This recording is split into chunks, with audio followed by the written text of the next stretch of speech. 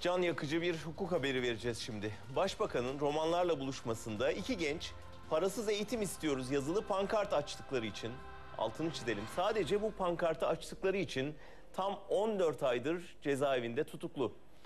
Bugün savcı bile isyan etti ve gençlerin beraatini istedi ama mahkeme reddetti.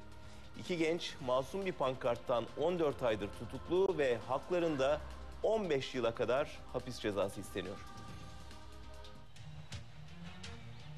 Başbakanın roman buluşmasında pankart açtıkları için 14 aydır tutuklu bulunan Berna Yılmaz ve Ferhat Tüzel hakim karşısına çıktı. Gençlik Federasyonu öğrencileri insanlık onuru. Duruşma savcısı sanıkların eylemlerinin anayasal düşünceyi açıklama ve ifade etme sınırları içerisinde kaldığını, silahsız ve saldırısız toplantıyla yürüyüşün önceden izin almadan yapılabileceğinin de anayasada yer aldığını hatırlattı. Sanıkların beraat ve tahliyelerini istedi. Sanıklar da demokratik bir ülkede parasız eğitimin herkesin hakkı olduğunu savunduğunu, protestoların örgütsel bir amaç taşımadığını savundu.